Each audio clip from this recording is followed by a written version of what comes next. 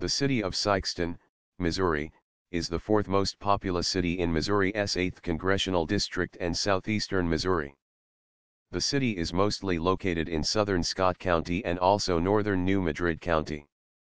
In 1860, city founder John Sikes recorded a plat with the Scott County Recorder where he wrote, I am going to start me a town, and I am going to call it Sykestown.